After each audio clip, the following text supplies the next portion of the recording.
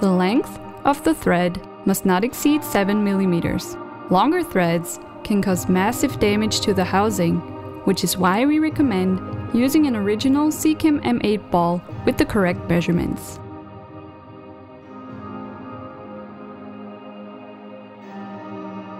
In order to take off the protection ring, turn it counterclockwise by applying a little pressure.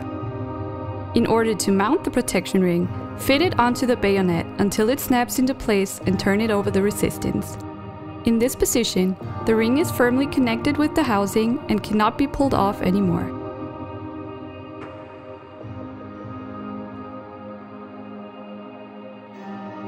To connect a fiber optical cable, simply plug one end into the fiber optical socket of the flash and the other one into the socket on the housing.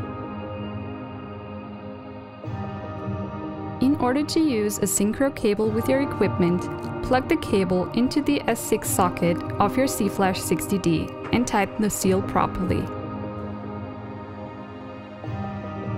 Repeat this action at the S6 socket on the front side of your housing.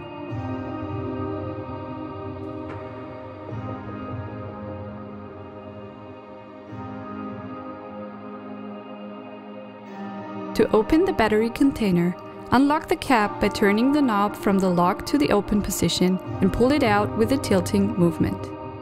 In case there are batteries in the device, the battery container cap will pop out by itself. To close the container, turn the knob to the open position. Now hook the small latch on the container cap into the back plate. Press it down all the way to the stop, hold the pressure and turn the knob from the open to the lock position. The easiest way to do this is by placing the flash on a hard surface.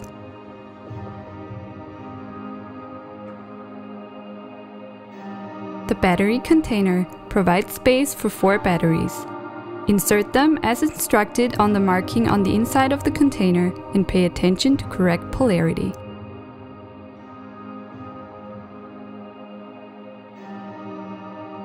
It is easy to check the camera compatibility of the flash. As soon as you switch on your device, the display will show the firmware release. If there is a dot after the number, the flash is prepared for a Canon camera. If this dot is missing, the electronics is ready for Nikon.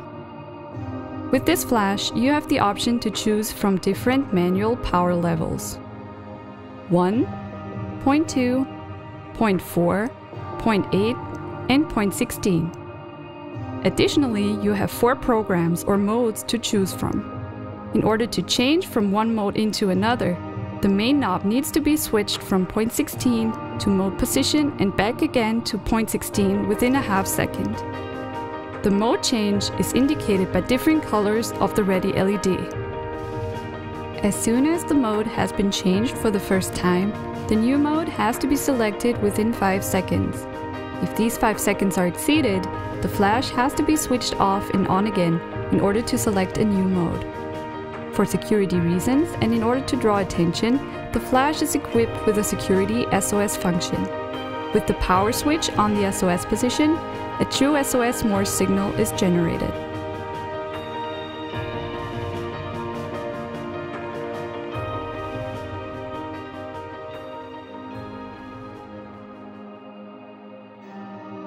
For TTL mode, set the main switch to on TTL. In case of a possible underexposure, the flash will emit an audible alarm. In this setting, the LED is red. You have different manual power levels to choose from 1, 0.2, 0.4, 0.8, and 0.16. In all these settings, the LED remains red.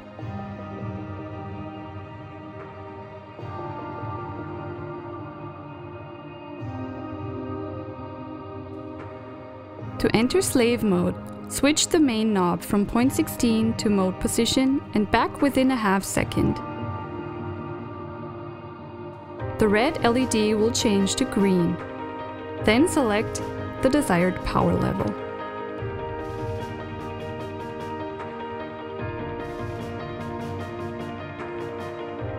For this mode, a fiber optical cable needs to be connected. Then switch the main knob twice within a half second from point 16 to mode position and back again to point 16. The red LED will change to a red blinking light. After that, select the desired energy level. For this mode, switch the main knob three times within a half second from point 16 to mode position and back again to point 16. The LED will show a blinking red-green light. The display, however, will not show numbers, as seen before in the manual setting, but a series of lines.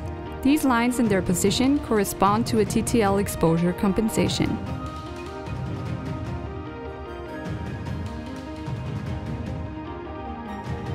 If you are using a Canon camera, please follow the instructions. First, connect the flash and the housing with a synchro cable and switch on the camera. Then switch on the flash and wait for the ready LED. Now activate the camera by gently pressing the shutter release. In order to activate this mode, switch the main knob from point 16 to mode position and back to point 16 within a half second. Repeat this action until the ready LED changes color to orange. If this does not work, press the shutter release again to establish a connection with the flash.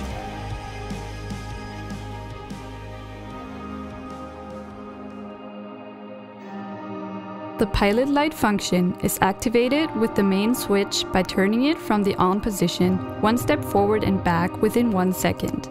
When repeating this action, you can choose from low power, full power, and off.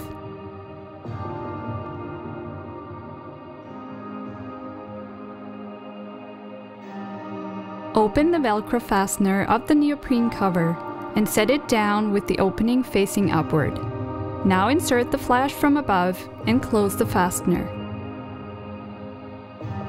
Adjust the cover in a way that the cable connection and the ball match the cutouts.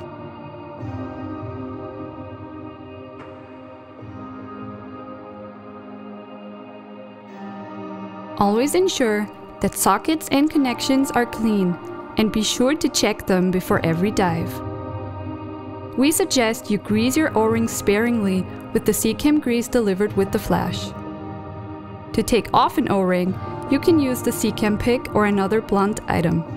Sharp tools can damage the sealing surface and the O-ring and threaten the correct sealing of the device.